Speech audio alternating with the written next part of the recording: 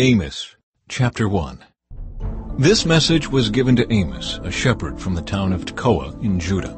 He received this message in visions two years before the earthquake, when Uzziah was king of Judah and Jeroboam II, the son of Joash, was king of Israel. This is what he saw and heard. The Lord's voice will roar from Zion and thunder from Jerusalem. The lush pastures of the shepherds will dry up. The grass on Mount Carmel will wither and die. God's judgment on Israel's neighbors. This is what the Lord says. The people of Damascus have sinned again and again, and I will not let them go unpunished. They beat down my people in Gilead as grain is threshed with iron sledges. So I will send down fire on King Hazael's palace, and the fortresses of King Ben-Hadad will be destroyed. I will break down the gates of Damascus and slaughter the people in the valley of Aven. I will destroy the ruler in Beth-Eden, and the people of Aram will go as captives to Kir, says the Lord.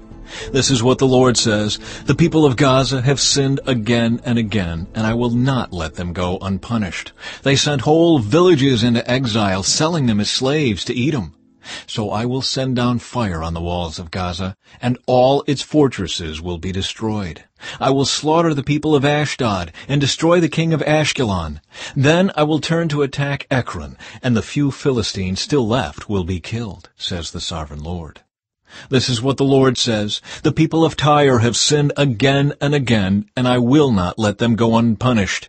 They broke their treaty of brotherhood with Israel, selling whole villages as slaves to Edom. So I will send down fire on the walls of Tyre, and all its fortresses will be destroyed.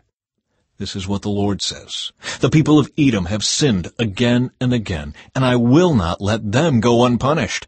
They chased down their relatives, the Israelites, with swords, showing them no mercy. In their rage, they slashed them continually and were unrelenting in their anger. So I will send down fire on Teman, and the fortresses of Bozrah will be destroyed. This is what the Lord says, The people of Ammon have sinned again and again, and I will not let them go unpunished.